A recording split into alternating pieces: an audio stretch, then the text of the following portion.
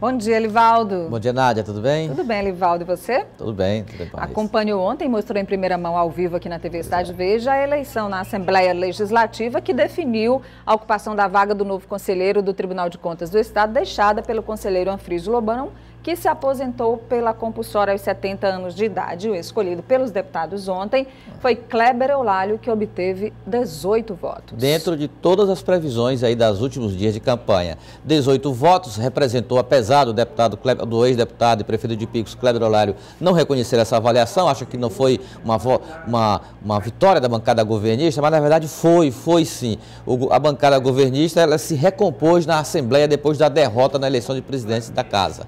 E e acabou é, nessa recomposição, nessa rearticulação, permitindo uma maioria folgada. É mais ou menos essa a maioria do governo daqui para frente, 18 a 20 votos. E ela se traduziu na eleição de Kleber Olário para a vaga de conselheiro do Tribunal de Contas a do Estado. A gente viu ali a imagem do ex-deputado Mauro Tapeti, que obteve 11 votos. Teve um voto também que foi dado para...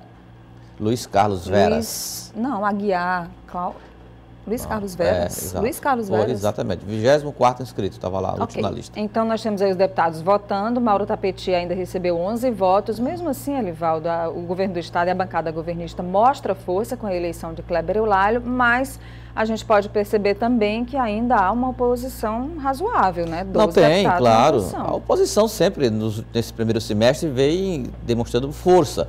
Agora, é tudo, Nádia, uma questão de articulação, de entendimento. A principal, eu não diria uma adesão, mas uma composição é, da bancada governista, favorável à bancada, à bancada governista, diz respeito ao posicionamento assumido pelo presidente da Casa, o deputado Temístocles Filho, que fez campanha, apoiou a eleição do prefeito de Picos, Kleber Eulálio, para a vaga do Tribunal de Contas do Estado. Então, a presença dele foi fundamental, dividiu o PMDB e atraiu outros setores da até então oposicionistas para garantir a vitória de Kleber Eulálio com 18 votos, uma vitória até razoavelmente folgada. Temístocles conseguiu votos para Kleber. Conseguiu, com certeza que conseguiu. Não é isso que ele diz não, veja aí. Eu só tenho o meu voto. Igual como todos os deputados, eu só tenho um voto.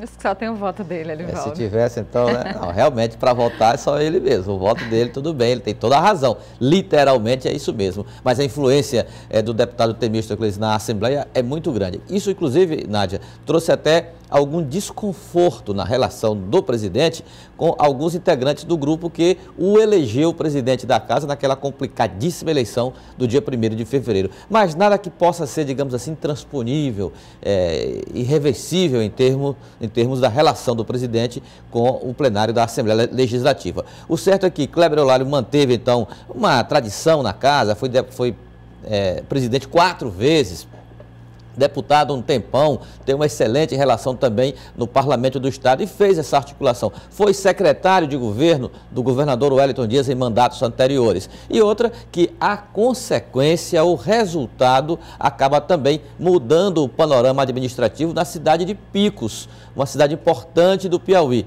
Não que isso tenha sido assim feito parte da negociação ou do entendimento, como o próprio deputado prefeito Kleber Olálio descartou ontem. Não aconteceu isso assim prontamente, mas a consequência imediata foi o PT chegar agora à prefeitura do município de Picos com o vice padre Valmir Lima, que deve assumir tão logo Kleber Olálio renuncie para assumir a vaga de conselheiro do Tribunal de Contas então, do Estado. Então, a gente vai já ouvir o padre Valmir numa entrevista que o J. Pereira e o Sávio Magalhães gravaram ontem à noite lá na cidade de Pix, enquanto também o novo conselheiro está se posicionando ah, ali para conversar aqui com a gente ao vivo.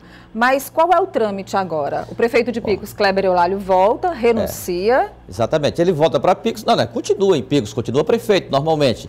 Ele tem aí um mês, um mês e meio para ser nomeado conselheiro do Tribunal de Contas do Estado. Enquanto isso, ele vai preparando, eu imagino, uma transição, uma vez que o vice é seu aliado lá em Picos, e preparando essa transição, ele renuncia e assume, então, o vice é, padre Valmir Lima lá de, de, do município de Picos, que foi eleito, obviamente, junto com ele em 2012. E depois ele vai se preparar, então, para, como, para assumir é, o seu gabinete e o seu lugar no plenário do Tribunal de Contas do Estado.